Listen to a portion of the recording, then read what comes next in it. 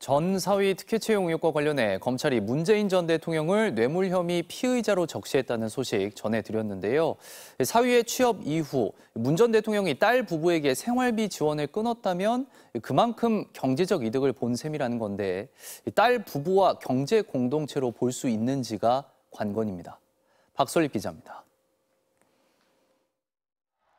검찰은 문재인 전 대통령을 뇌물 혐의 피의자로 적시했습니다. 이상직 전 의원이 중소벤처기업진흥공단 이사장으로 임명된 대가로 문 전 대통령의 사위였던 서모 씨를 자신이 설립한 항공사 타이 이스타젯에 채용하고 태국 이주를 도왔다는 겁니다.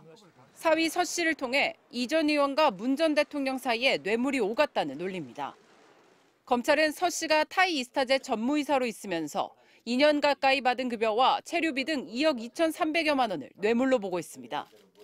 사위의 취업 이후 생활비 지원을 끊었다면 문 전 대통령의 경제적 이득이라는 판단입니다. 관건은 딸 부부와 문재인 전 대통령을 이른바 경제 공동체로 볼 수 있냐는 겁니다.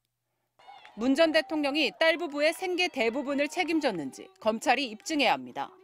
검찰이 문 전 대통령 부부 금융계좌를 압수해 추적하고 딸 부부의 재산 내역을 들여다보는 것도 이와 무관치 않습니다.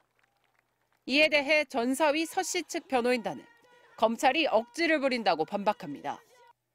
서 씨는 결혼 전부터 증권사에 다니며 돈을 벌어왔고 딸 다혜 씨 또한 경제활동을 해왔다며 검찰이 객관 의무를 저버린 채 억지 수사를 벌이고 있다고 했습니다.